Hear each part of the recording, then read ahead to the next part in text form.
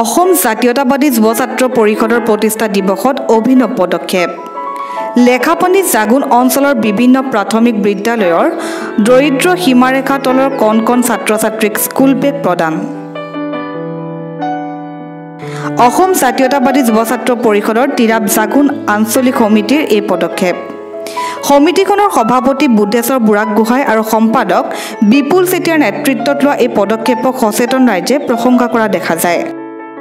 অনাগত দিনত সমাজত বাস কৰা তিৰাপ জাগুন অঞ্চলৰ অৰ্থনৈতিক ফালৰ পৰা দুৰ্বল পৰিয়ালৰ ছাত্ৰ ছাত্ৰীসকলক শিক্ষাৰ ক্ষেত্ৰত আগুৱাই যোৱা দিশত আৰু অৰিহণা আগবঢ়োৱাৰ পদক্ষেপ হাতত লোৱা হ'ব বুলি সংবাদ মাধ্যমৰ যোগেদি অৱগত কৰে সমিতিৰ নেতৃবৰ্গই। আজি অসম জাতীয়তাবাদী যুৱ ছাত্ৰ পৰিষদৰ বিয়াল্লিছতম প্ৰতিষ্ঠা দিৱস। সেই উপলক্ষে আমি প্ৰতিখন স্কুলত এটা পদক্ষেপ লৈছোঁ। তিৰাপ জাগন আঞ্চলিক সমিতি হৈ প্ৰতিখন স্কুলত আমি দহটাকৈ বেগ বিতৰণ কৰিছোঁ স্কুলৰ ল'ৰা ছোৱালীৰ প্ৰতি।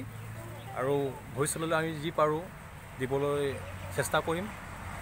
আৰু সেয়ে আমি আজি প্ৰতিষ্ঠা হিচাপে আমি আজি সংকল্প লৈছোঁ। আৰু আনকেইটা দিনত আমি আকৌ তেনেধৰণৰ ব্যৱস্থা গ্ৰহণ কৰিম। লেখাপানীৰ পৰা Sarat Gogoi report The Tinsukia Times.